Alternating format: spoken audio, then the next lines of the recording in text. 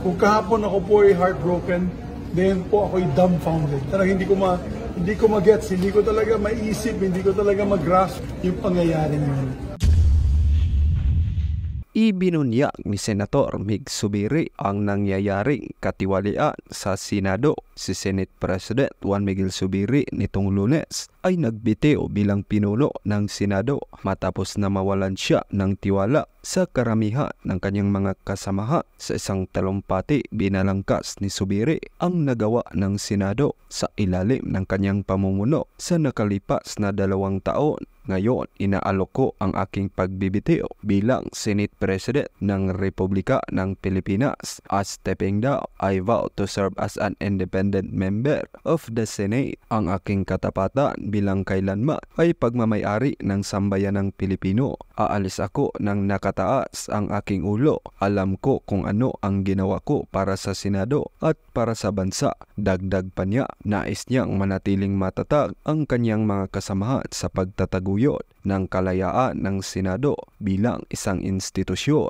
Maluhaluhang sinabi ni Zubiri sa simula ng kanyang talumpati na sinubukan niya ang kanyang makakaya upang gawing independyente ang Senado mula sa politika. Pinangalagaan ito mula sa napakalaking impluensya ng mga kapangyarihan na nangyari ngunit tila nabigaw daw siyang sundin ang hindi binanggit na makapangyarihan kaya inilagay ko ang aking sarili sa linya upang protektahan ang Senado mula sa lahat ng mga pag-atake lalo na sa lahat ng pagsisikap na bawasan ang kapangyarihan ng institusyong ito bilang huling baluarte ng demokrasya ng bansa. Idinagdag ni Zubiri na nabigo siyang sumunod sa mga tagubilin mula sa mga may kapangyarihan. Nakipaglaban ako ng magandang laban. Nangako si Zubiri na maglingkod bilang isang independenteng senador ng Republika na nagtatapos sa kanyang talumpati sa isang mabilis na pagpupugay Samantala, nanumpa si Senator Chis Escudero bilang bagong Senate President ng Republika ng Pilipinas kapalit ni Juan Miguel Subiri na nagbitiw sa kanyang pwesto nitong lunes. Ang celebrity wife ni Escudero na si Heart Evangelista ay nagbigay ng oath-taking para suportahan ang kanyang asawa ayon naman kay Sas Rogando Saso lalong maabswelto sa kaso si James Kumar dahil ang kanyang kaibigan na si Chis Escudero na ang bagong Senate President. Si James Kumar ay hindi sumipot sa Senate hearing kaugnay sa PDLX dahil na-stroke daw at kasalukuyang nakakonfine sa Makati Medical Center. Si James Kumar umano ang middleman ni na Eric Santiago alias Picoy, Jonathan Morales at ang kaibigan nito ang na-stroke na si James Kumar ay nagpakita ng bahagya sa video at nagsalita ng tuwid at naiintindihan ng mga tao sa Senado bagay na malabong magawa ng isang na-stroke na pasyente. Natuldukan na sana ang pediatrics hearing kung dumalo si James Kumar. Ayon kay Senator Bato de la Rosa, hindi naman daw anya dapat palampasin na hindi tanungin si Kumar dahil buhay na ni Morales ang pinag-uusapan usapan rito. Naniniwala kasi ang senador na si Bato na may basihan siya na totoo ang naganap na negosasyon sa tangkang panunuhol kay Morales sa katunayan na contempt si alias Picoy dahil sa napakababaw na alibay nito kaugnay sa hawak ni Morales na CCTV footage. Gayon pa man, ipinagtataka naman ng ilang netizens bakit tila ang mga napangalanan ni Morales ay biglang nagkakasakit at na ospital Nauna na nga riyan si Paquito Ochoa na umano'y nagka-COVID daw. Sumunod naman itong si James Kumar na inatake ng stroke. Ang isa pang nakapagtataka o nagkataon lamang ba na iisa ang doktor ni Senator Jinggoy Estrada at ni James Kumar. Ayon nga sa komento ni Ebe Jugalbat, wow ha, pareho pala ng cardiologist si Kumar at Jinggoy. Iho di puta, ha ha ha. Gayon pa man marami naman ang nagdududa kung na-hospital ba talaga si James Kumar. Ayon kasi sa post ni Benjon Amora, naniniwala ba kayo na nasa hospital ngayon si James Kumar at may sakit daw. Napaka-timing naman at may hearing. Style nyo bulok. Ayon pa sa kanya, Mr. James Kumar, asan ka ba talaga sa hospital? Una sa 5-star hotel. Yung room mo kasi ay hindi pang hospital, kundi service ng isang 5-star hotel pati ba naman kami binobola mo pa ang tawag sa robe na yan, waffle robe. O ayan, pwede na kayong bumili sa Lazada, 1,096 pesos lang plus shipment. Kung kailan may hearing ka, doon ka pa nagkasakit, matagal ng style yan. Kung naloloko mo ang mga bombay na tulad mo, kaming mga Pilipino, never. Bistado ka na, ang naoto mo lang ay si Bato para kang si Ochoa. Kung kailan wala ng COVID, saka pa nagka-COVID. Ayon naman sa patutsada ni Sasasot, sa Asian Hospital daw pala, sumali pala ang komersyal ng Asian Hospital about their hospital gown and hospital robe. Thanks. Ayon pa sa kanya, kanya na pala patient gown sa Makati Med kasi ang alam ko sa patient gown, sa likod ang closure. Baka nag-iba na at sa harap na ang closure ng patient gown sa Makati Med, especially for stroke patients. Anong stroke po ba ito? At hindi na apektuhan ng speech pattern. Very fluent pa ring magsalita. Ganun na pala ngayon kapag naka-confine sa Makati Med, patient gown na sa harap ang closure at hindi sa likod. At sa ilalim ng patient gown ay pwede kang may damit. Ikaw bilang Pilipino, naniniwala ba kayo na na-hospital at na-stroke si James Kumar sa mga aligasyon at paratang ni Jonathan Morales? Isulat ang inyong reaksyon at komento. Sabi ni Flavie, either People's Initiative o PIDEA Leaks ang agenda. O baka naman kasi kaya kayang-kaya sila ng Congress na panahon ni Migs kaya siya inalis. We don't know. We, I don't know that. But ang alam ko is, if it was People's Initiative, kontra si Cheese sa People's Initiative. Diba? Bakit siya? Kung ang Malacanang naghahanap ng maglalagay ng tao nila, bakit siya? Bakit hindi yung pinaka ano, yung talagang bentang-benta? Yung ano, yung katulad nung sa House Speaker na kung sinabi ni Presidente talon, anong anong sang sang tulay ako tatalon? Ganon. So, we have to think about this. Hindi ko rin pwedeng sabihin na ito yung sagot, no? Hindi ko sinasabi na this is what happened. But I am questioning the narrative. Kini-question ko na bakit sinasabi na uh, good si Migs, bad si Cheese, kung ang boto ganito. Ang tinitignan ko, yung talagang mga kontra Malacanang, PDP kontra Malacanang, Senator Amy kontra Malacanang, pero yung boto nila doon kay Cheese para matanggal si, si Sir Migs. Hmm. Okay. Andiyan na naman tayo sa mga frequently asked questions. Pwede ba yung mga moderators, kayo na rin po yung sumagot. Kung convicted daw si Jinggoy, bakit nasa di nakakulong? Meron pong tinatawag na bail pending appeal. Naka-appeal, pinayagan siya mag-bail. At hindi pa po yun final, kaya nasa Senado siya.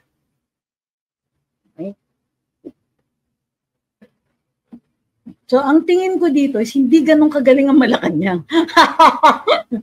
hindi sila ganun kaano. Hindi sila I mean, kasi kung gugurgurin mo rin lang ang ano, ang leadership sa Senado, edi niratsada na nila yung People's Initiative. Ninegate na nila yung Senado. Ang daming sutil eh. So, instead, posible na naunahan sila. I mean, that's one theory. I'm not saying that this is true or that it, but this is one thing that we can consider. Uh, hindi ganun kadali. Bakit? Si Senator Migs ba super suporta kay Senator Bato? Eh nung umupo, eh gusto niya yata, gusto niya matapos kagad. Of course, inalaw niya. I- inalaw niya kasi ano magagawa niya? Eh, moto proprio hearing ni Senator Bato yan. Pero nung umupo siya, ang tingin ko, ang, ang pakiramdam ko, he wanted it over right away. So, kumbaga, nothing is black and white here. Of course, di ba, katulad ng sinabi ko kanina doon sa ano sa uh, Pilipinas kung mahal. Um, Senator Cheese is smart. Okay? Smart.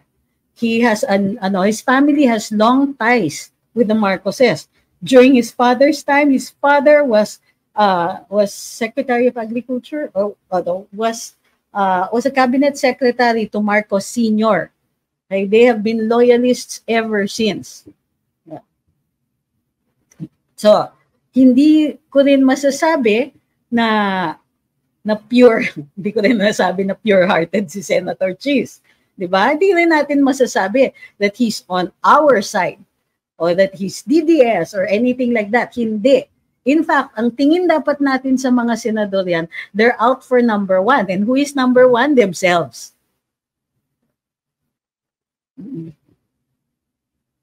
Okay. Di ba? Sila, none of these politicians are ever going to be on our side. They will be on their side. They will choose the side where sila po ang magbe-benefit. Ganun talaga ang politika. And it, it doesn't matter what country you're in. That's what it is. Pero ang tingin natin ko dito is, ano, kumbaga, wait and see tayo. Hindi ako, ano, hindi ako, how do you call this? Hindi pa rin ako palo na good versus evil ito. There's no such thing. Lahat sila evil. Sorry. Kahit yung mga kaibigan nating senador. Siyempre, may iba dyan naka-survival mode. ba?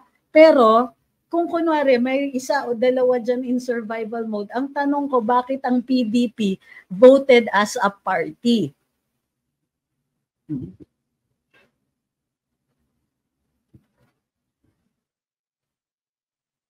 Correct. Sabi ni Army, read Adrian Pascual's in, interesting take. This majority group seems to have many different factions, not a majority in the pure sense. Totoo yan.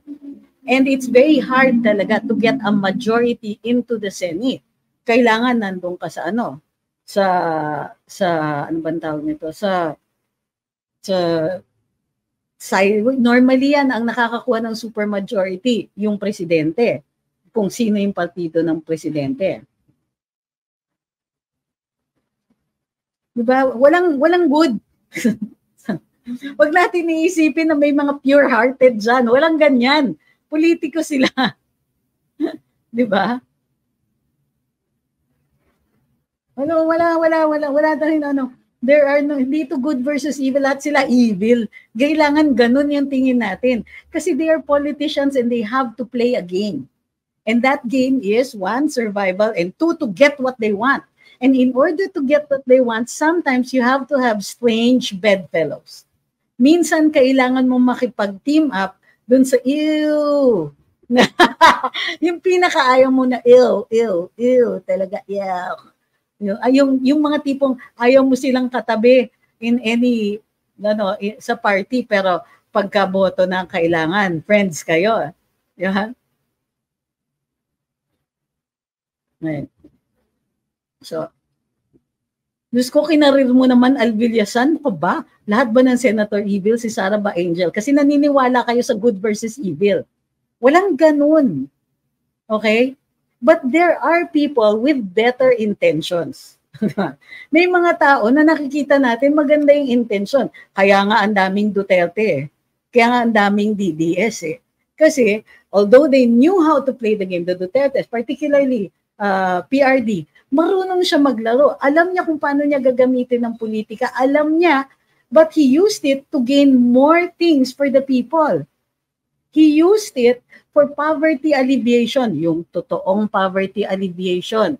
Uh, he used it for free tertiary education, for build, build, build. He used it para dun sa ano para maayos, ma-institutionalize yung 4 Ps at maayos yung pagbibigay.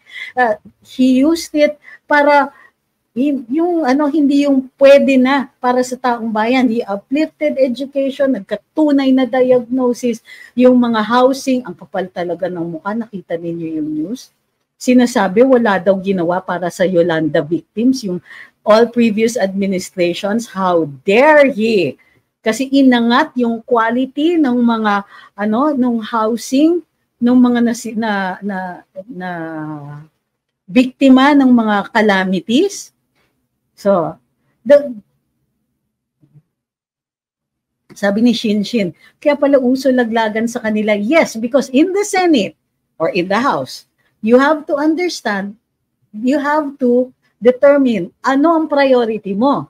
Kung ang priority mo ay meron kang maipasa na ano, na certain legislation, kung yan ang gusto mong ma- mangyari, you will need the votes of your colleagues, even the colleagues that you don't like. So yan po ang sinasabi ko sa inyo sa collegial nature ng Senado at ng Kongreso. Sabi ni Ma'am Christine, super how dare he. Kung magsalita, akala mo may nagawa at all anywhere from the time he became president. What a piece of work. Tulalo.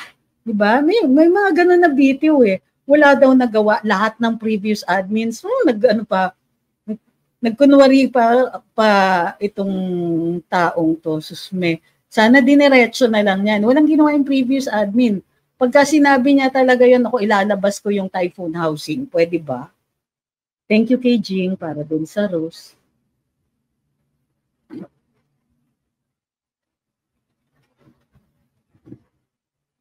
Sabi ni G, totoo to, tao lang mga Duterte nagkakamali at may maling ginawa.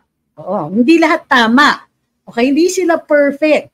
Hindi sila, wag, wag tayong mag expect ng perfection sa mga tao. Diyos lang yung ganon. Pero nakikita ko, one, may good intentions. At may follow through, may good intentions, nakikita niya, nag-goal setting sila at ginagawa yung dun sa goals. Uh, ano ba, Jabonga, thank you. Dun sa ano, first few years of the Duterte admin, aba, pagka, yung mga tipong kakapanalo lang, nakikita mo, nagkakausap na ng kung sino-sinong tao, nagpapalinis ng mga kalye, pinapakinausap ang DFA. Di na ba kayo naawa, pumipila yung mga tao sa labas ng opisina ninyo, Diyan na natutulog alas 4 ng umaga, rat-rat. Thank you kay Shop Galore at kay uh, Percy. So, the sooner we accept na mga tao lang ito, at alam natin na there is some who are better at this, this politics game than others. And there are some who really do things for the people and know how to do it. Yun talaga yung inaano natin. Let's not look for perfect people. Let's not look for ano for angels. Kasi, di ba? Yes, ito sabi ni Philip Gamboa. Mongo pala is one of those who ousted Zubiri. Correct, di ba? Party the PDP voted as a block. So pare-pareho sila ng boto. Robin, SBG, Bato, Tol. Apat yan. Sila yata yung pinakamarami or meron iba pero hindi. Hindi ko sure.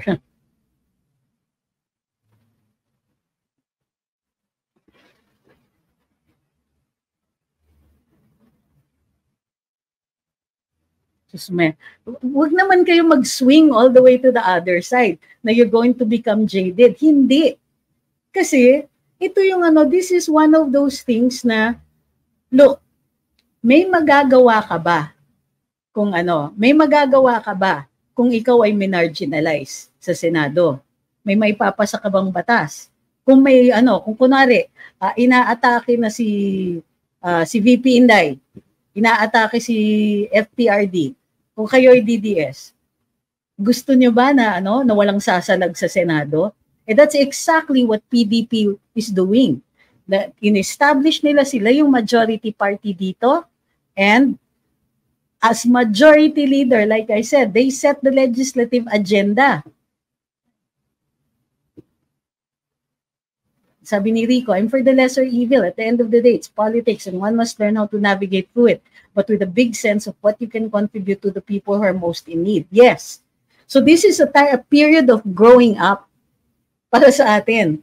Alam niyo kung bakit binoboto natin dati yung mga dilaw leaders? Alam niyo kung bakit? Kasi parati yung naratiba nila, kami good, yung kalaban evil. Tapos ganun lang, black and white. Parang kami white, sila black. At maraming naniniwala. Pero yung totoo niyan, kailangan iboto natin yung mga tao na ka, ka-align natin sa kay, gusto natin mangyari.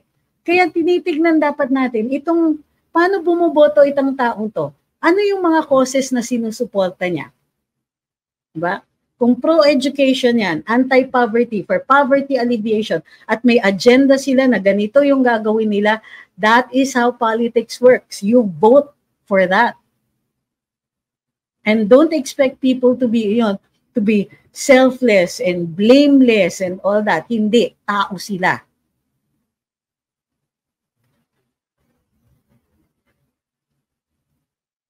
So what do you think is the reason why PDP block voted Zubiri out? I think they saw a chance. Kasi hindi naman sila yung madyo eh, under Zubiri. Dito, maisulong nila. Mas powerful ang PDP ngayon. 'Di ba? 'Di ba? Sabi ni June, mas okay naman si Cheese kasi si Jinggoy ang naging Senate President. Good luck talaga sa atin. Okay? So, yan yun. Totoo yan. And I don't think, kasi kung si Senator Jinggoy, yung nag-ano, na, na, na nagmamaniobra trying to get himself elected as Senate President, mahirapan siya. Pero si Cheese, acceptable sa mga colleagues niya. So you have to think about that also. Hindi acceptable masyado si Cheese, mahirapan sila. In fact, ang suspecha ko, si Senator Jingo, yun yung bet ng Malacanang. Pero hindi niya kaya mag-Senate President. So, dun siya pro tempore siya.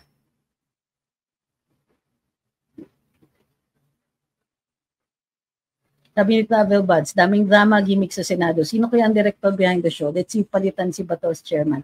Hindi na nga po, in-announce na po. At the start of this live, sinabi ko na po, hindi po tatanggalin. Bato retains his chairmanship. PDP retains all their ch- chairmanships. Okay? Hezekiah, ano yung pro tempore? For now, ibig sabihin pag wala si Senate President, ang Senate President ang uupo ay si Senator Jinggoy. That's what it means for now. Okay? You will be the Senate President for now. So, para siyang vice. Vice President. Ganon. Thank you kay Dan. Sabi ni Mary Grace, mas lalong garapal pag si Grace po, barkada ni BBM yan. Hindi ba ka mag-anak? That's the rumor. Kaya naman. Ilan po ang PDP sa Senate? Apat po. Pero hindi kinakount si Senator Kiko, uh, ako ko, sorry, haha. Si Senator Coco po is considered in the minority. Although officially PDP pa rin yung dala niya.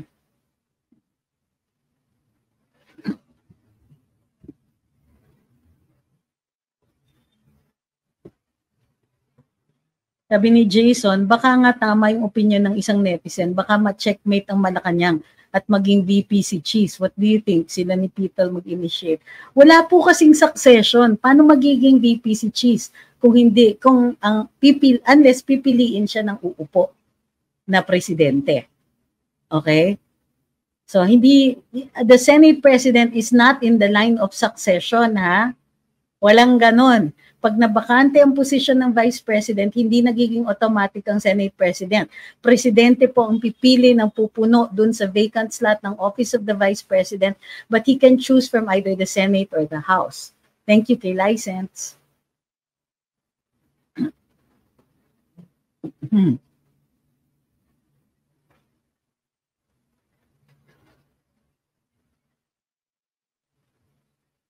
Sabi ni Maripe, kapag nadidepress na ako sa mga pangyayari, sa'yo ako nakikinig agad. Tanggal ang agam-agam. Yes, kasi ako, hindi ko nakikita to. Thank you kay Saldi 99 at saka kay Saldi 99 ulit. Okay, hindi ko kasi to nakikita as purely a Malacanang triumph, kumbaga. Posibleng may mga tao who will try to paint it that way. Pero sa tingin nyo ba si Senator Amy boboto ng pro Malacanang? Parang hindi. Thank you kay Jars de la Cruz. In fact, although naawa naman si Senator Amy kay Senator Mix, but the writing is on the wall. He really was on his way out.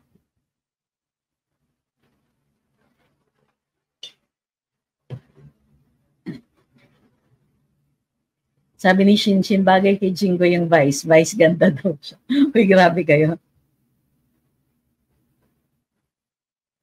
So, kung ito ay hindi malakanyang engineered, medyo good news ito. Kasi, remember, kahit naman nung si Senator Migs, hindi kaya ng Malacanang yung Senado.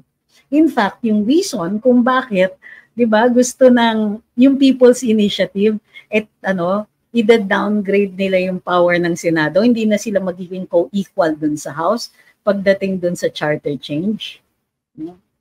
Kasi ang tingin ng ano, tingin ni ng House, and tingin din ng Malacanang, ito po yung harang.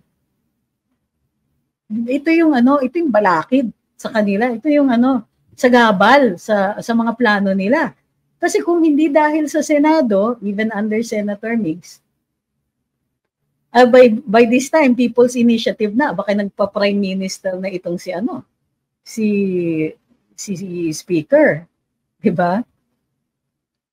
Sabi ni Obiter, mukhang super stress po si Jingo in defending Lam sa Senate po. Dinipend ba niya? Sabi ni Mitzi, I think factor sa ouster ni Migs ang Kibuloy issue. Pwede rin. Pwede rin. Sabi ni Guardian, do not trust I mean, like I said, we don't trust any of them. We have to stop treating them like people, na, like they're our best friends, like they're acting in our interest. No, of course not. Nagkakataon lang na minsan yung interest nila ay nagkakatugma dun sa interest natin.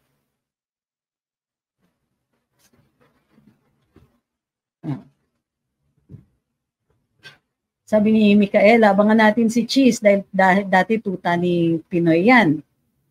Kung sa bayan si Cheese o tuta siya, ay, ako wala na akong ini-expect na may mga para sa bayan dyan. Yung iba dyan para sa survival eh. O, di ba? Yung iba dyan para sa ano? Para sa power. At kung makukuha nila ang power by being friendship with Malacanang, abay gagawin nila yan. On the other hand, kaya nga sinasabi ko, iba ang Senado. Ibang dynamics ng Senado. Wag, don't, ano, don't fall into the trap of thinking that any of them are angels. No, walang ganon. Pero, you know, some of them are good at playing this the game of politics. Sabi ni Andrew Lau, hinarang ng Senado yung cha-cha train. That's true. That's true. Sabi ni Seven Cody, may possibility po ba na makontrol ng executive ang Senate? Oh my God, nakakatakot. I, I don't think you were listening for the past, ano, past, what, 30 minutes na nagsasalita kami dito. Yes, pwede. Kaya nila. Ito din, ito din. Sanali ha. May gums. Ayan. Ito din.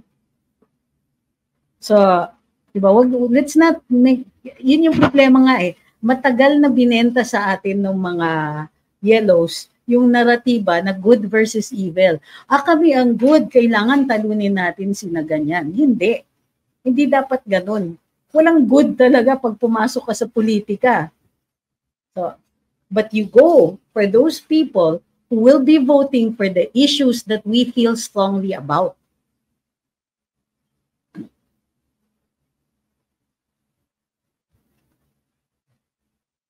Sabi ni June, hindi naman siguro ipagkakaluno si Cheese ang kanyang pagiging abogado at pagiging senador kung magpapadikta lang siya sa executive.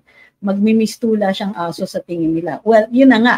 Si Senator Cheese is can sometimes be a wild card. Hindi mo minsan ma-predict kung saan siya boboto. Minsan, oy, okay yung boto. Minsan, eh, what the? Di ba?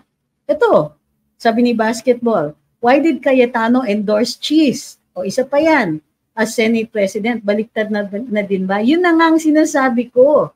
I don't really think that this was a Malacanang engineered thing. Kasi two Cayetanos voted on the on the same side here. So, kung kung kung si Senator Alan Peter was being consistent na anti-Marcos siya, bakit siya boboto kay Cheese? Kung si Cheese ang tao ng Malacanang. Okay? So ulitin ko, sino-sino, ang daming nagtatanong na naman. 15 senators voted to oust Zubiri. The, yung dalawang Cayetano, Alan Peter Cayetano, Peter uh, Pia Cayetano, Ronald De La Rosa, of course, Cheese Escudero, Jingoy Estrada, Christopher Lawrence Go, Lito Lapid, Amy Marcos, Ramon Revilla, Francis Tolentino, Rafi Tulfo, Robin Padilla, Grace Po, Cynthia Villar, and Mark Villar. Okay? Kita mo what a mixed bag that is. Sino yung bumoto for Zubiri? Uh, without Senate President Zubiri there, Sunny Angara, Nancy Binay, J.B. Ejercito, Sherwin Gatchalian, Lauren Legarda, Joel Villanueva, and of course, si ano, si, ano ba to? Si, si Zubiri himself. Pops. Ang dali lang po ah.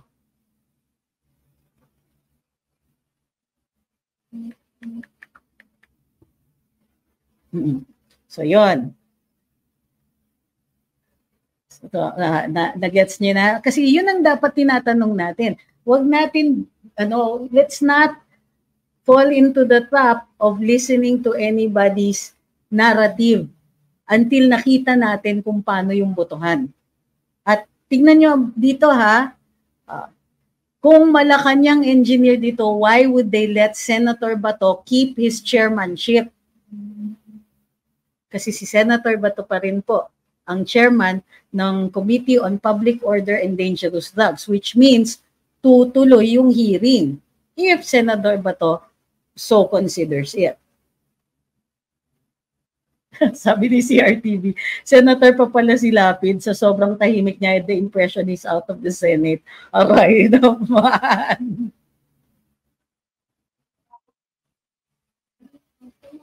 Ito sabi ni Moliere, pansinin mo sa Senate hearing Pidea Leaks, kampo kay James Kumar at kay Lam na kapwa mga mafia team.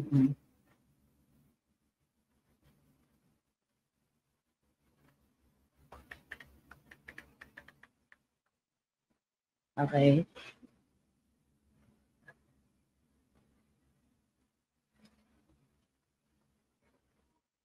Sabi ni Ma'am Elda, akala ko din because the early reports indicated that he was voting for Zubiri against the ano.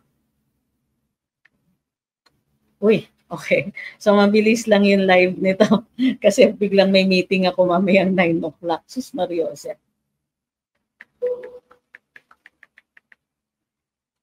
Okay.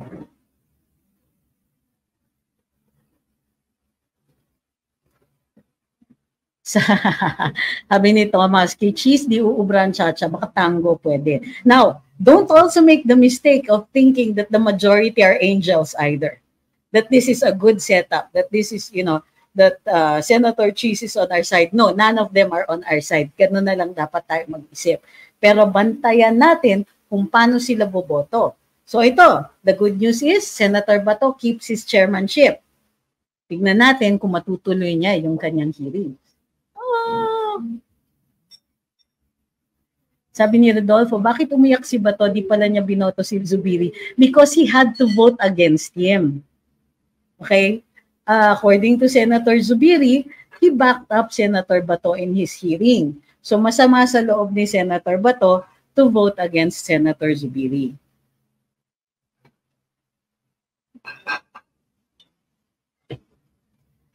Okay? Nakapost ba ang live ko sa TikTok? Oops, I'm so sorry para dun sa mga nasa TikTok. Wait lang po ah. Balik ako. Ay, ayan. Sorry, sorry.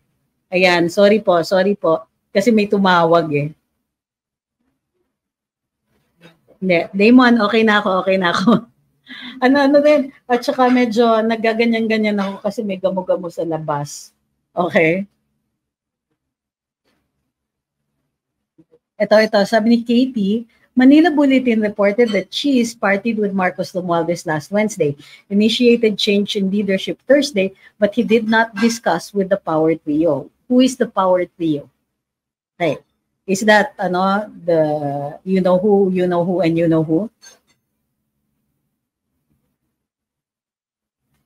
Sabi ni Juan D. Cruz, what if Senator Cheese is seeking for Vice President for 2024? Malay nyo, President na si Sara next month.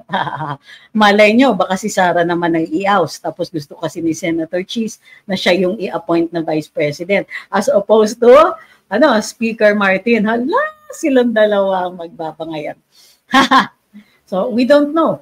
So, like I said, uh, we should not think of any of them as being on our side but that some of them might have intentions that are congruent with ours.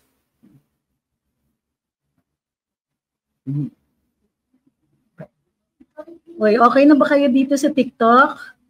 Okay na ba? All right.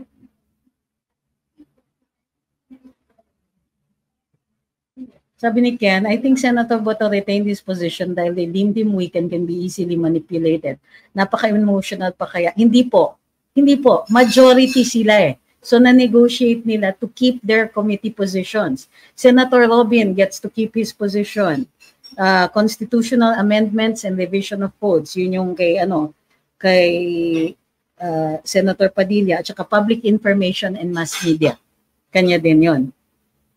Sabi ni Cleo, hindi muna pakampante. Sino may sabing nag, sinabi kong makampante tayo? Hindi nga eh. We have to stop thinking of them as being on our side na pwede tayong mag-relax because they're going to do what we want. No. We have to watch them closely because Senator Cheese is smart, smart, smart. If he was going to do something, hindi natin yung makikita until andyan na yan. Thank you kay Shock Galore.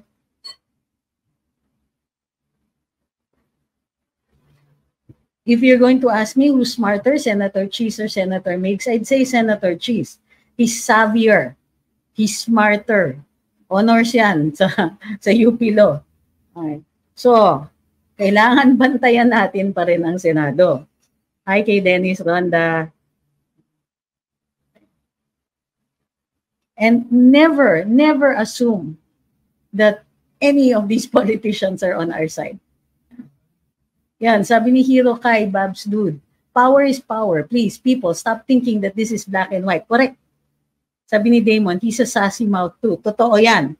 Totoo yan. Remember yung sagot niya?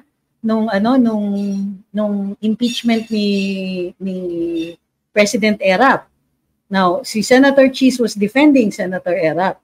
So during the the trials in the Senate, uh, may lumapit sa kanya at sinabi, What do you mean I hope you're right about cheese? What are you talking about? Right about cheese. At I'm saying guys, babantayan natin eh.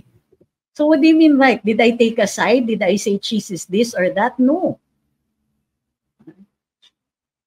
So Uh, but remember in the ano in the in the impeachment hearing of uh, President Erap, what happened? May lumapit kay Senator Cheese. You know you're so smart, you're but you're just on the wrong side. You're on the but you're on the wrong side. Ang sagot ni Senator Cheese, no ma'am, I'm just not on your side. So always think that. Na he, he isn't necessarily on our side, whatever side that is. Okay? I'm not saying he's a good guy. And I'm not saying any of them are good guys. What I'm saying is that we have to be on, ano, we have to be able to support those that support the things that we want, the things that are for the public interest.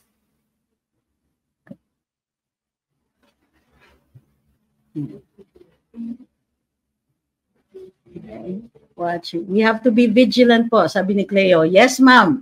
Ma'am, tama ba? Uy, sasabihin nyo kung nami-misgender ko kayo, ha? Okay. So sabi ni Chum Chum, pa-enlighten po, bakit po dati pati PDP laban senators nag-vote out Zubiri? Ang gulo po. Yun nga, yung kanina pa namin po sinasabi kay Chum Chum. Um, ganito kasi medyo mahaba yun eh. Uh, you can check out the the replay dito sa YouTube. But the short answer is, it works for them eh.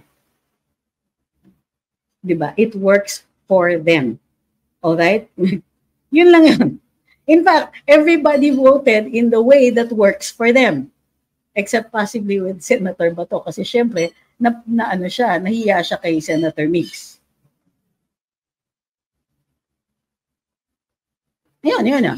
Sabi ni IMD, even Amy is still lukewarm even though she sticks with VP Sara and PRD. She's still a Marcos. Like I said, actions speak louder. They can tell us anything that they want to say. Yung, kumbaga, anything that will make them look, hi, ganda ko, di ba? But really, how they vote is what we're going to look at.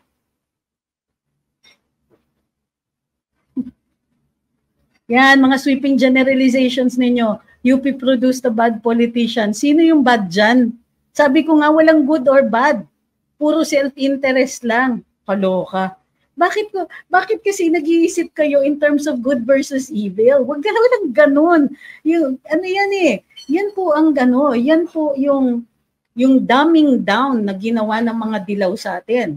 Sinasabi nila na, oh, these people, Marcos, pure evil. Kami yung mga ano heroes ninyo. We're going to save you from Marcos. Chachachanan.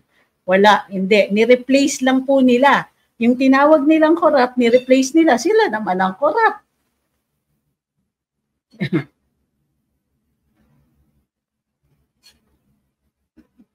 Sabi ni Jom, si Chacha gagamitin lang yan para sa sariling kapakanan kung paano humaba ang termino. Yan. Yun, totoo yan. Totoo yan. Now, the one thing that uh, FPRD has been adamant about is itong People's Ini- Initiative at Chacha. Alam niya kung saan papunta. Alam niya na may nagpa-plot na ganito. Now, we know na the People's Initiative at itong charter change na pinaplano na gustong-gusto sana nung ano nung ano ba to na gustong-gusto sana nitong sina speaker is really bad for the country. So, we're against that. And it so happens na sa Senado nangyayari yung pagsalag nun. Now, the, the Senate, they're not voting simply because it's bad for the people. It's bad kasi for them. Dahil yung gusto nitong ni, ano, ni, ni Speaker Martin ay i-downgrade yung Senado. Hindi na po sila magiging equals with the House parang ang sinasabi ng House, ang konti-konti ninyo, tapos equal tayo, tapos mas mabigat ang boto ninyo. Hindi. O di syempre, palagang Senado, what? O hindi kami pro-people's initiative. Di ba? Okay? Ganyan. Ganyan ang politika. Okay. Gustuhin man natin na isipin na may mga taong pure ang intention, it's hindi magsusurvive yung mga ganun. So ano, so kunali pag sinasabi niya, Attorney Tix, paso ano, takbo ka ng Senado. What? Eh paano kung manalo ako diyari? Tingnan mo gagawin ko. Kailangan ano, makikipag-chikahan ako even with the people na ew, ew, ew. Di ba yung mga binabash natin dito ng mga politiko? Suddenly, makatabi mo na. Kaloka. Naku, ano gusto ninyo gawin ko? Yun. Sabi ni Iwis, tumpak, yan ang nangyari nung ano, pumalit ang dilaw. They romanticized politics, making it hero versus villain. Hindi. And that's why we are here. We have to explain this. Hindi simple ang politika. Hindi ito black and white. Pero pwede natin piliin ano ba ang kailangan ng bayan.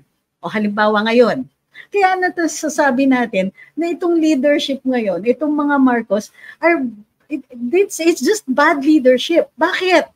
O sige, nalagay sila doon because we, because we are under the impression na isusulong yung public interest. So ano yung mga interest na yon? Yung mga nasa kanyang uh, campaign promises. Presyo ng bigas. Okay, number one na yan. Presyo ng bigas doon pa lang. Yung logistic system, nasan yung trabaho? Isa pa yan, doon sa surveys, problema. Walang trabaho dito sa Pilipinas. At anong sabi ni Presidente? Ayusin natin yung Mining Act na yan para dito na natin nire-refine yung mga ore natin. Hindi yung pagkamina, eh, ita, i-export natin. Tapos bibilin natin doon sa ibang mga bayan na napakamahal. Eh sa atin galing yon Wow, galing ng plano ni Presidente. Ano nangyayari? Ginawa ba? Uh, inumpisahan ba? Sino bang ano? Sino bang Sino bang dapat nag-execute niyan? Di ba primarily DTI tsaka DENR gumagalaw ba? Hindi. So if the president is no longer working for our interest, tama na palagan natin siya. This is no longer about ano, kung loyalist ka o hindi. Di ba? Hindi na ito to, kung DDS ka o hindi. Ano sabi ni FPRD? Mali naman ako doon. Siya pa talaga yung kukut ko. Pero nevertheless, anong sabi niya? Hindi lang mahal ang bigas, gutom ang mga Pilipino. So, so pa, gutom ang mga Pilipino. Tapos anong gagawin nila? Pamudmud, pamudmud. Okay, sige, siguro welcome yan dun sa mga taong gutom. Welcome yan, pero fish for a day yan. Hindi yan, ano, hindi yan teach a man to fish. Okay, hindi yan developmental projects. Hindi yan mga proyekto na sa ikabubuti ng nakararami. Ito ay napan, eh, nakakabuti lang. Yung mga ayuda-ayuda na yan, nakakabuti lang para sa eleksyon nila. Pero hindi yan nakakabuti sa development ng bansa.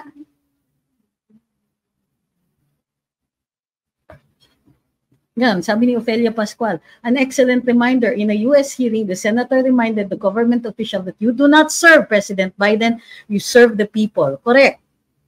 So, itong mga ano, so, so for, for me ha, for me, dapat wala na rin tayong masyadong makulay. Na oh, sige, yes, of course, namimiss natin si FPRD and I so really miss his leadership. But dito dun sa ibang ano, uh, dito sa ibang mga ano natin, mga kaibigan natin na hindi naman natin kakulay. Halimbawa, yung mga suportado pa nila yung presidente, pwede ba konti, wake up and smell the coffee. Di ba? Gutom ang mga Pilipino, tapos anong inaatupag nila? anong inaatupag nila? West Philippine Sea. West Philippine Sea, tapos yung gentleman's agreement. Yun po yung hearing ng House. Hindi ko natagalan dahil, di ba?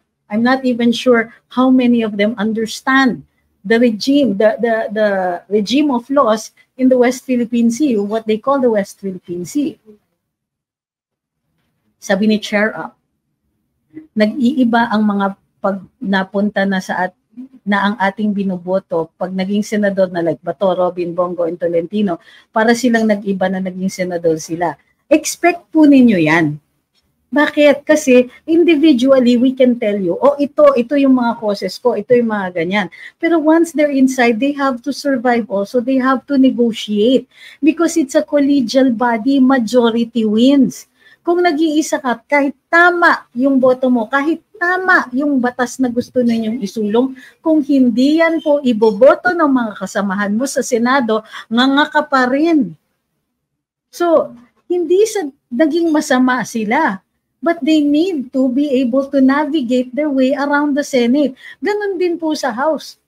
Although dun sa House, medyo bardagulan talaga. At saka mga konting finesse naman po. Halata naman po kasi nabayaran o nakaano, nakatanggap ng mga whatever it is. Wag, wag na tayo magkunwarian, pero wag rin naman po kayong OA.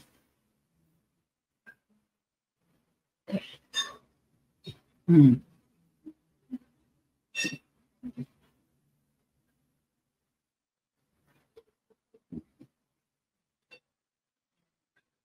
Yung sinabi ni PRD, political butterfly. Oh, kaya titignan din ninyo, sino dito sa ating mga politika ang natuto to play politics as a party? Kasi dito sa Pilipinas, bihirang-bihira. Hi, Eric. Bihirang-bihirang, bihira talaga yung mga totoong party people. Hindi yung party-party gaya ng sa Malacanang. Hindi, ibang party. Partido. Yung marunong bumoto ng ano, hindi yung after their own self-interest. Yung mga tipong, ah, yung presidente, partido na ganyan, ah, doon ako sa party. Ngayon, di ba? May mga tao na ganoon. At yan, yung mga tinatawag natin na political butterflies. Ah, sino ba ang malakas? Uy, doon ako. Move, move, move, move, move. Ipagsiksikan ako dyan. Yan. Pero, merong iba na na ayaw tinitignan ko kasi ng yung mga yung, yung meeting ko mamaya pa bago-bago yung lugar eh. Oh, anyway, nawala tuloy ako dun sa ano. So, may mga tao na naiintindihan nila, okay, pumasok sila sa partido regardless of the leadership, andito sila sa party na ito dahil the party stands for certain things.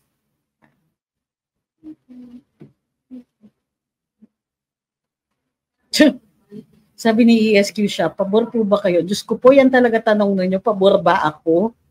Uh, sa tinuruan, sa, why, why does it matter kung pabor ako? Unang-una, I think this is wrong. Okay, so sabi ng isang congressman, mag-sorry daw si Bato kay Bonget. Ako pa talaga yung tinanong ninyo, no? sa, sa mga ganyang katanungan. Of course not. Why should Senator Bato apologize to the President? Unang-una, he never accused him of anything. He conducted a, an inquiry in aid of legislation, which is his job as a senator. He saw an issue that needed to be heard, and he heard it.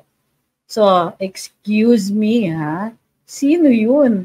Kung kala nila sa Presidente Diyos, I, I have to confess, may ganun. Thank you kay Patrick.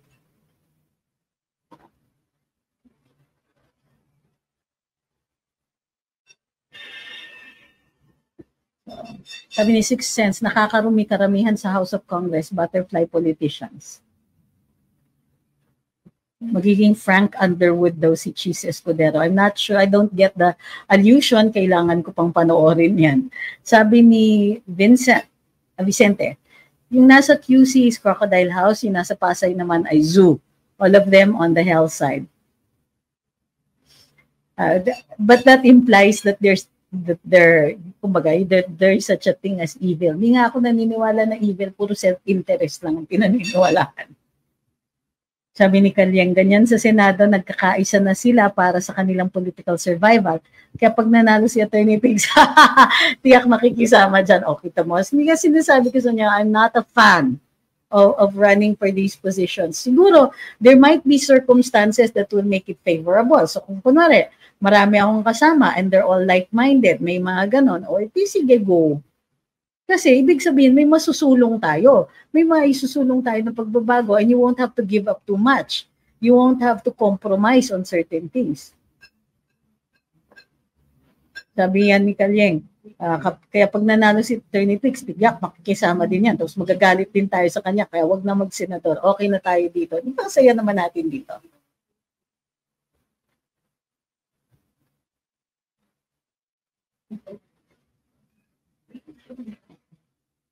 Sabi ni Margot, ni Ma'am Margot, evil can only prevail when good people do nothing. To allow the acquisition of governance by those driven by evil is to betray the very essence of democracy and justice. Mm. But we also have to be realistic. Yeah. Okay, ganito yon. Ganito yon. Sabi ni Damon, no, what do you think for Senate? But, okay, so ganito yon. Hmm. How do we affect change? You either work with the system or you work against it. And we have to choose. Sometimes working with the system is the only option.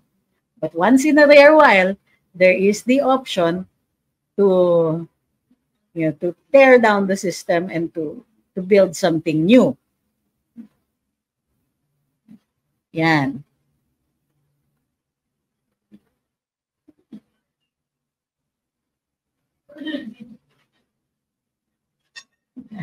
Sabi ni Peachness, ay, nasa na yung Peachness? Okay pa rin mag-senador si Atty. Dix para may tagasalag sa mga province. Mahirapan akong tawagin silang ganon kung katabi ko sila dun sa Senado, di ba? Baka masapok ako. Hmm. Sabi ni CRTV, ano usually kinukuha ng mga senators as office staff? Kung kukunin ka ba ng isang senador to work for him or her, would you accept? Depende din po. Depende sa ano eh, kung anong sinusulong ng senador na yon. Uh, kasi you'll have to stand by your boss.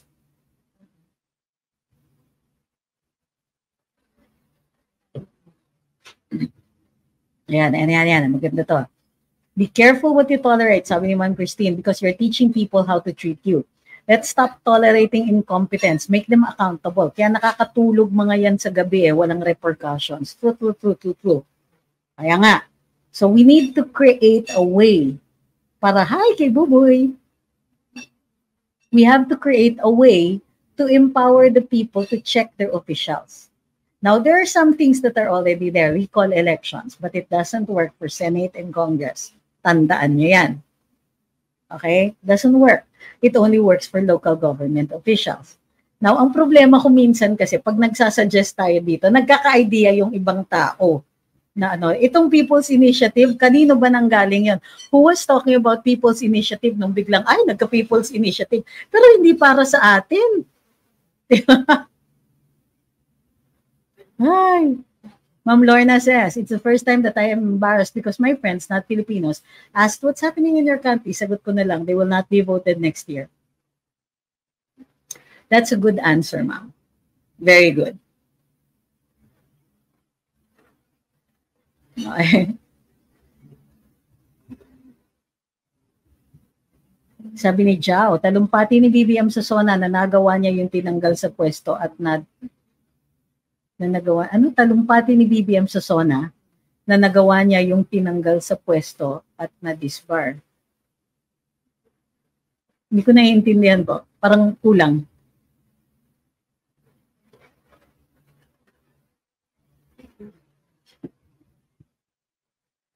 Sabi ni Jepoy, minsan ba ma'am nagpa-plastikan mga senador? Of course. Paano ko magsusurvive? Eh di ba minsan, katabi mo, kinukonta mo yung ano, pero katabi mo. Diba? O kaya later on, naku, hindi ko pwedeng ano, sang ayunan itong bill na to. It's bad for the people. Ganyan. Tapos papakiusapan ka, huy, sige na, boboto ako para dun sa bill mo, boto mo naman tong bill na to. Grabe yung dilema na yon. Yun ang mahirap yung mga ganyan dilemas. What will you do kung kayo yon? Kung kayo yung senador, nakaano din yan. Importante, importante yung bill mo. Eh, let's say yung bill mo talaga malilinis yung Pilipinas, maayos yung mga uh, let's say yung mga, mga basura-basura yan. Let's say it's an environmental bill. At maganda, maganda yung bill na yon and you need to have it passed. Senado na lang, yun na lang ang kailangan ninyo. And after that, presidente na. So you need the vote. So kailangan, kailangan mo yung signature ng isang tao. Paano kung sabihin sa inyo? Hmm, sige, pero iboto mo yung bill ko. Tapos yung bill niya, pa, ano, magpapayaman lang dun sa mga importers. Anong gagawin ninyo? Diba?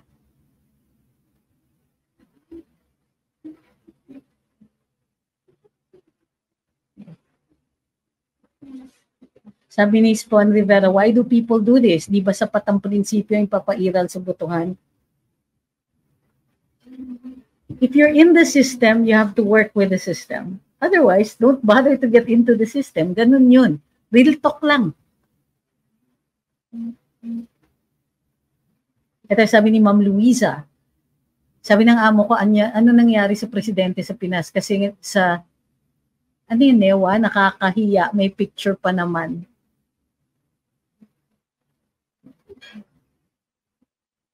O yan, sabi ni Morena, Isa. Sabi ni Senator Bato, papauwi na daw si Agent Morales at si Picoy. Hmm. Si hindi rin nagtagal. Sabi ni Chris John, nagsayang lang sila ng oras at panahon sa Pidea Leaks. Pidea Leaks. Bakit naman sayang? Ah, ang tingin ko hindi naman sayang. Na, na, nagdagdagan ng bigat yung dating pinaghihinalaan ng natin. Bigat lang ah, hindi pa rin siya ano, hindi pa rin siya enough evidence to to show that there's a, a crime committed. In other words, hindi ito beyond reasonable doubt.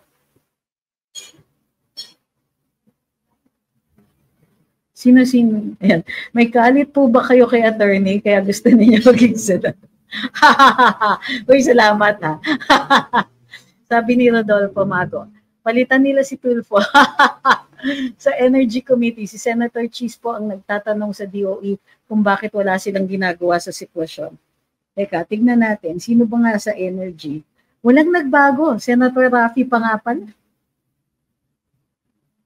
Yikes!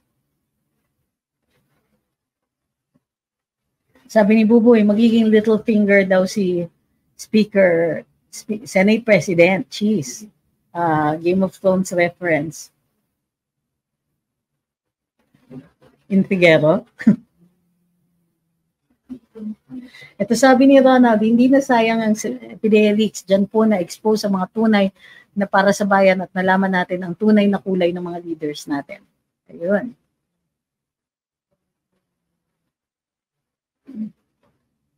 Ito sabi ni Ma'am Cathy, wala naman kasing nakasuhan, kaya daw sayang lang. Nadiin pa si Mr. Morales. Ma'am, hindi naman po kasi probable cause hearing ang Senado.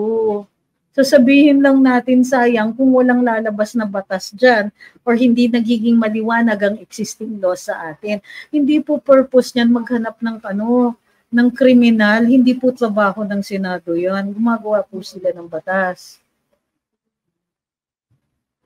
Sabi ni Planetang Talim, ika nga ni Banat Bay, pwedeng Trojan horse si Maharlika. Or for the views lang, sa huli, kawawa si Morales. Well, hindi ko naman masasabi din yung ganun. Um, hindi naman po. Uh, parang hindi ko masabi na ganun. Seriously. Kasi ang laki ng danger sa kanya eh. Tuloy po ba ang maiso? Tuloy po as far as I know. Yun nga lang, grabe, ubusan daw ng ticket. Nakakapagduda. Sipin mo, ang plane ticket, one way, papuntang ano, papunta sa sa Tacloban, ay kung sa 24th or 25th ka pupunta, one way, 20,000 pesos na po. Tila may nag-ubos ng mga murang ticket.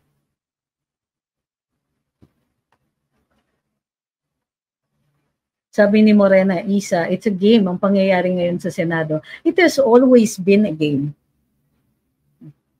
Diba? That's why pag sina- sinasabi na naglalaro, ah, laro yan. It, it's strategy eh. You, you decide.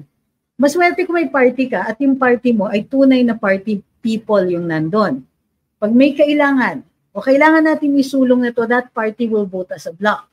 Mas lumalakas sila kasi you can get things passed easily. Kasi sa totoo lang, masyado tayo pa rin may hangap na may good versus evil. Wala pong ganun. Walang good versus evil.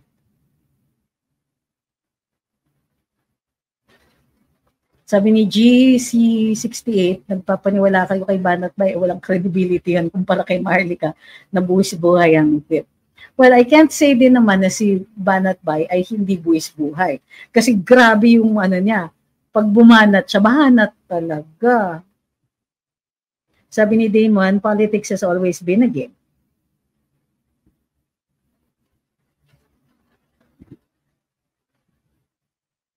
Sabi ni Erwin, more maisog, more travel pala. What do you mean more?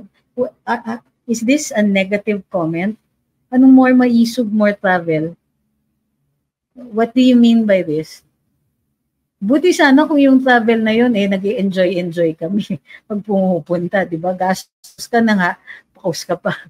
Sabi ni Sixth Sense, napanood niya yung interview ni Agent Morales sa mainstream, tika, ni, sa mainstream media, last, last eight years yata, nagkakagulo na noon ng PIDEA. Talagang consistent siya. Yun na nga. Yun nga yung reason kung bakit believable siya. Kasi consistent siya.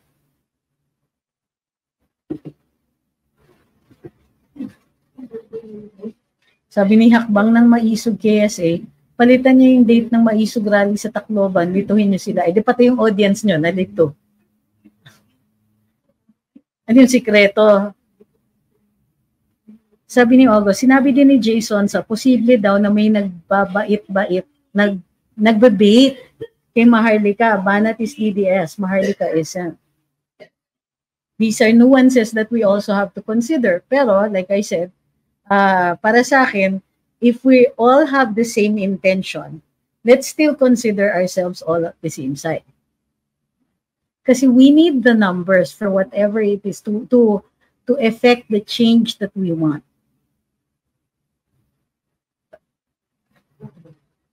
Okay, but let's not make this Maharlika versus ano, Banat. Wala tayong ganyan. Kung, ay na, mali. For me, sabi ni Ma'am Maldita, if Maharlika versus Banat Bay, masasabi mas DDS si Banat Bay. Nabuli nga kami during last election dahil sa pagtatanggol kay PRD dahil sa mga panatiko ni BBM. Yes, I understand that. Pero yun na nga, um, Maharlika was also Duterte but she has been uh, loyalist for much, much longer. Ang sa akin, it's it's not the details, it's what we want to happen. Kung pare-pareho tayo na nga, ano, ang gusto natin ay pagbabago at pare-pareho tayo ng iniisip ng paraan ng pagbabago or ng ano or at least ng mga kasama natin sa pagbabago na yon. Huwag muna tayong magbakbakan. Kasi we need the numbers eh. We can't pull this off if we don't have the numbers.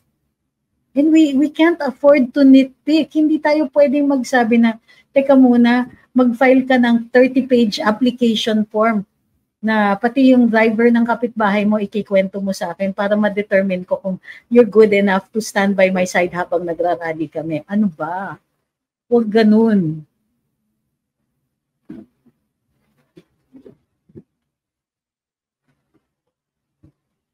Saan po ang maisog sa June 2? Kasi alam ko lang yung sa 25.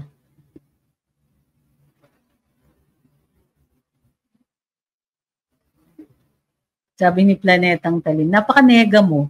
So kampi-kampi muna din pag wala na si Van, saka tayo magkakagatan. Bakit kailangan kagatan? Hindi ba pwede, pwede tayo merong mga differences? Bakit? Did you want everybody to be on the same side and to think identically? That's never going to be possible. Ever. And why would you think that if you have differences, automatic magkaaway kayo? Eh, may mga kaibigan nga na akong ano, pink eh. May kaibigan akong dilaw. Although hindi ko masyadong kinakausap yan. Deep inside, kaibigan pa rin. Uh, bakit bakit kailangan ganun? Hindi ba pwedeng tayong magkaroon ng differences of opinion pagka okay na yung leadership uli? Bakit kagatan? Hindi ko naiintindihan. One, that's defeatist and two, it's super nega. And you can actually fight that. First, you don't give in to that.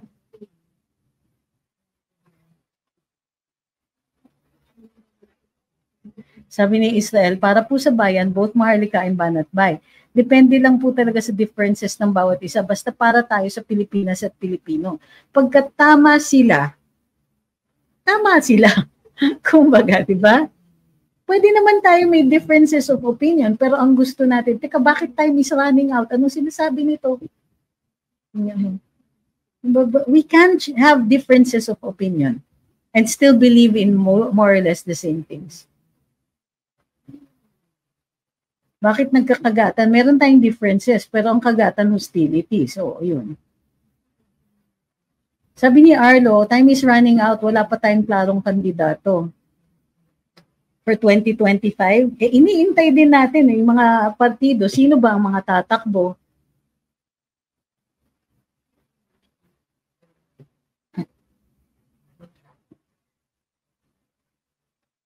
Kasi sa totoo lang, kahit magkaibang kulay, let's say may mga kakampi dyan, na naniniwala ako na talagang naniniwala sila na para sa bayan, para sa ano. Iba yung paraan. Ang paraan nila pink, ang paraan natin DDS. Pero kung para sa bayan sila, there's no way na mumurahin ko yung mga yan. No way. hindi ko kailangan best friend sila. But at the same time, hindi ko rin sasabihin na wala silang ano, wala silang value sa society natin.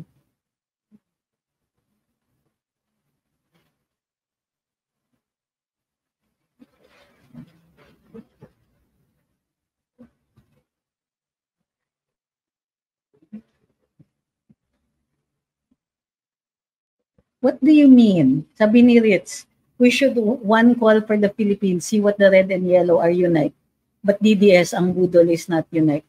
Sino may sabi?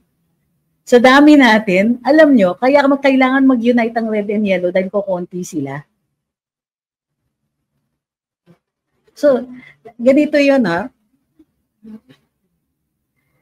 Yes, we should unite as ano as a people who want the same the same kind of change. Yun, sabi ni Damon, yung, like yung isang kakamping mo ng viewer sa YT attorney, rational mag-isip. So, kasi ang iniisip ninyo is that kailangan super parehong-pareho tayo mag-isip. Hindi mangyayari yon Bihira mangyari yung ganyan na super pareho. So, again, we can unite in intentions. Huwag na tayong mag-nitpick. Kung pare-pareho tayo, ang intention natin, eh, hindi na natin kayang patagalin itong, ano, itong ganitong sitwasyon and that we have to call out the people in government, then let's all do that. Kailangan pa ba natin ng ano, ng mga resume ng mga kakampi natin?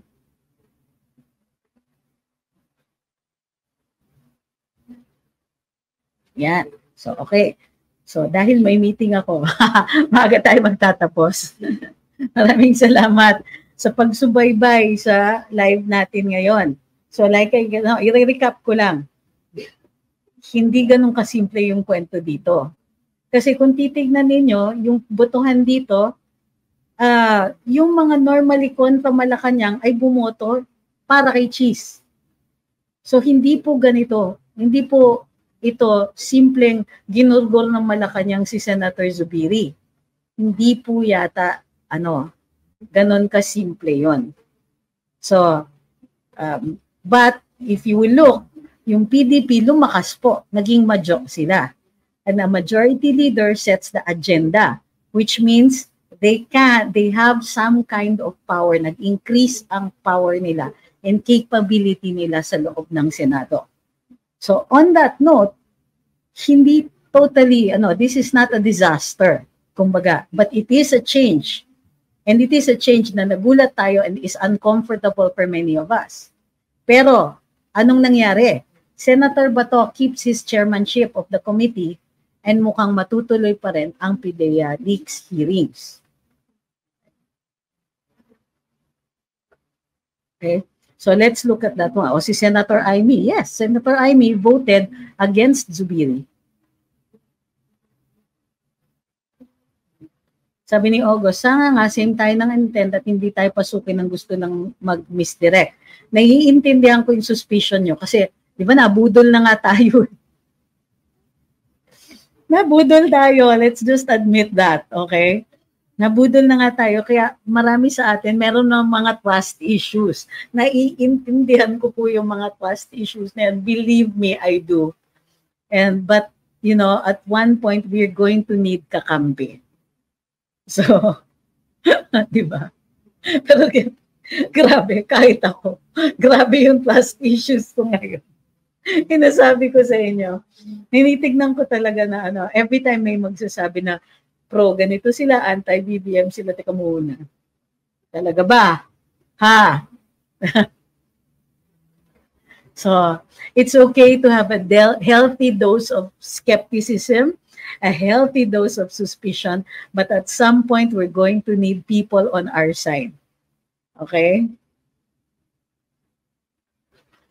Okay, so maraming maraming salamat sa pagsubaybay sa live natin ngayon. Kailangan ko matapos kasi ng maaga-aga dahil may meeting ako. Uh, sabi ni Juan, sabi ng Joe ako, ano daw meron sa'yo at lagi ako nanonood sa'yo. Manood kaya siya. para ano, para dalawa na kayo. Para makita niya kung ano yung ano, ano yung pinapanood ninyo dito because it's certainly not for the aesthetics. Okay? Okay. See, uh, uh, sabi ni Ma'am Christine, if pinks are going to stand on the hill that PRD is evil, no dice. Uh, that works at some at a certain level. Pero do you know the kind of negotiations that went on in 1986? Holy cow. So, yun talaga. Titignan natin. It's the, the decisions become more and more difficult as we go along. But it also means that we're heading in the right direction. Okay? Sabi ni Alex, tatakbo ka bang party list? Wala po akong nakikita pang dahilan to do that. Kung utusan nga, ito yung sinasabi ko sa inyo, pag inutusan ako ni FPRD, patay tayo dyan kasi mahirap pumili.